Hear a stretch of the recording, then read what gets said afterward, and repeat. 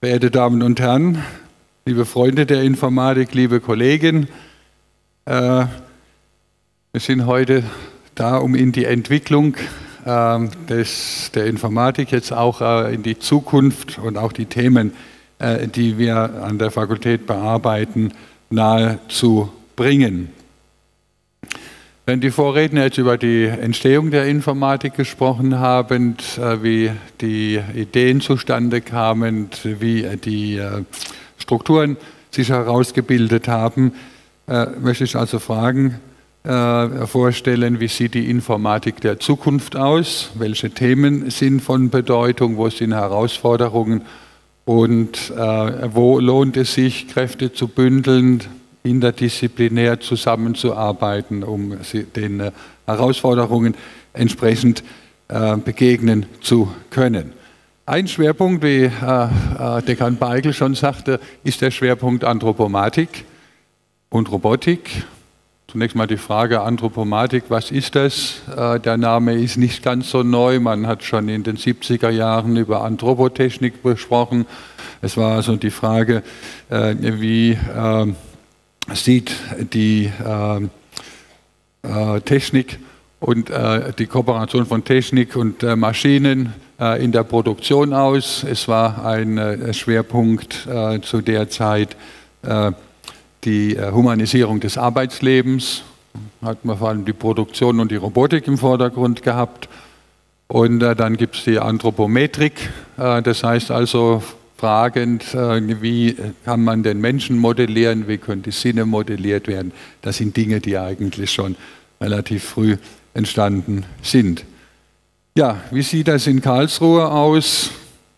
Ähm, wir sehen die, äh, die, Anthropomatik als Informatiker, als äh, Wissenschaft der Symbiose zwischen Mensch und Maschinen, also nach wie vor Interaktion, Kooperation zwischen den Systemen.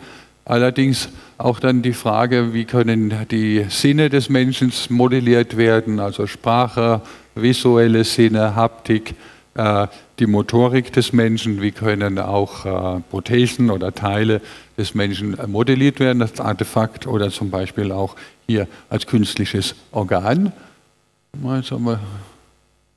Und dann eben die äh, Robotik, die als ja, Automationshilfsmittel in der Automobilindustrie, in der industriellen Produktion etabliert ist und inzwischen auch ein äh, Alter von 50 Jahren erreicht hat. Die ersten Systeme sind äh, in äh, der Fernhandhabung entstanden, eingesetzt worden, auch hier in Karlsruhe am damaligen äh, Kernforschungszentrum und dann eben auch zur Manipulation eben von emittierenden Materialien. Gut verglichen zu anderen Disziplinen jetzt, äh, wenn man das Automobil betrachtet, das 125 äh, Jahre Geburtstag gerade gefeiert hat, äh, ist die Robotik und die Informatik eine junge Disziplin. Die Symbiose von beiden, Automation, Robotik und Informatik, ist also jetzt gerade zwei Jahre alt. Der Schwerpunkt wurde vor zwei Jahren beschlossen und vorher sehr gründlich vorbereitet. Der damalige äh, Dekan äh, Detlef Schmidt hatte äh, die Idee der Anthropomatik sehr stark befürwortet. Es wurden damals Themen diskutiert, das war etwa so um die Jahrtausendwende. Und äh, dann war die Frage, was ist das? Das ist interdisziplinär, wie können die verschiedenen äh, Disziplinen zusammengeführt werden, sodass also hier ein äh, tragfähiger äh, nachhaltiger Wissenschaftsbereich äh, zustande gebracht werden kann. Gut, hier sei also äh, einigen der damaligen Kollegen gedankt, die also die Idee des Interdisziplinären sehr stark vorangetrieben haben. Zum einen also Detlef Schmidt, ein Kollege Beeth, Kollege Weibel, Kollege Bretthauer, Kollege Wörn und Kollege Bayerer, die das also sehr stark mitgetragen haben, sodass aus der Idee eine kritische Masse entstand. Umgekehrt, wenn wir die Themen jetzt betrachten in der Anthropomatik, auf die ich gleich zu sprechen komme, also Forschungsthemen, dann sind diese, wenn man es genauer betrachtet, auch nicht ganz so neu. Äh, in den 80er Jahren äh, sind Kollegen an der, an der Informatik bereits tätig gewesen in einigen der Gebieten. Zum Beispiel Alfred Schmidt hat sich mit äh, der Visualisierung befasst, Visualisierung des Menschen, Visualisierung von Strukturen, das, was heute als Virtual Reality und Augmented Reality bezeichnet wird, ist aus der damaligen Zeit zu äh, entstanden. Hans-Helmut Nagel hat sich mit maschinellem Sehen befasst. Also können Maschinen sehen, können sie die Umgebung wahrnehmen. Das ist also ein wichtiger Teil der Anthropomatik. Und äh, Alex Weibel kam mit den Visionen nach Karlsruhe des Sprachverstehens, des äh, Sprachübersetzens von einer Sprache in die andere Sprache und äh, der Entwicklung von rechnergestützten äh, Systemen zur multimodalen Mensch-Maschine-Interaktion und damit sind eben die Grundlagen zur äh, Anthropomatik und der Mensch-Maschine-Interaktion entstanden. Es sei noch äh, Kollege Rembold genannt, der die Automation und vor allem die Robotik äh, nach Karlsruhe brachte an die Informatik und dort Grundlagen in der Automation, Handhabungstechnik, Sensorik äh, mit geschaffen hat. Also von daher ist das schon eine gewisse Tradition, auf die wir aufbauen. Die Zeit ist zu kurz, muss auch auf Antbode äh, Rücksicht nehmen. Äh, ich wollte nur ganz kurz die Forschungsthemen, die Ziele äh, skizzieren. Es geht vor allem eben um äh, das Modellieren und Verstehen des Menschen, um die Interaktion des Menschen mit der Maschine. Hier sind Methoden zu entwickeln, algorithmische Ansätze, ähm, dann aber auch Ansätze, die aus der Biologie kommen, dass man versucht, hier Übertragungen und äh, Synergien zu schaffen, die wir uns auf das, äh, zum Ziel gesetzt haben. Naja, und letztendlich auch das Entwickeln, Planen und Entwerfen von äh, Systemen, von technischen Systemen, die eben angewandt werden können.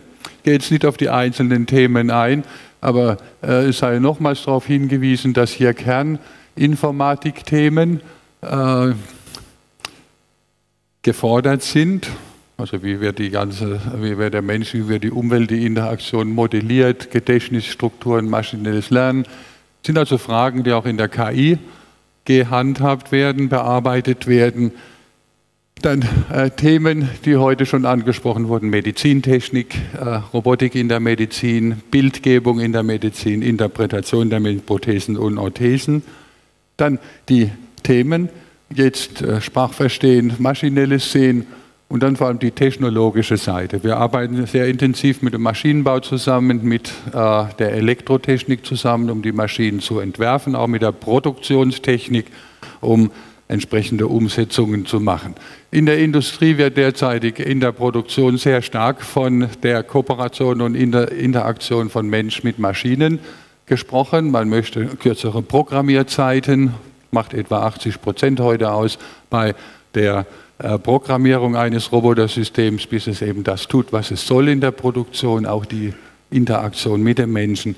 Das heißt, wir haben hier äh, in der Industrie starke Partner und dann eben die äh, Industrierobotik, bei der sehr, ähm, ein sehr vielfältiges Feld heute erarbeitet wird. Dann neue Themen nach Fukushima wurde es wieder sehr aktuell. Umwelteinsätze von Mensch-Maschinen-Systemen eben bei Katastrophen und zur Umweltüberwachung. Gut, die Frage, also wie sehen solche Systeme aus? Das sind informatische Systeme, aktorische Systeme, die zu entwerfen und zu planen sind, stehen bei uns im Vordergrund, werden auch prototypisch in den unterschiedlichen beteiligten Systemen äh, und Instituten äh, gebaut, erprobt.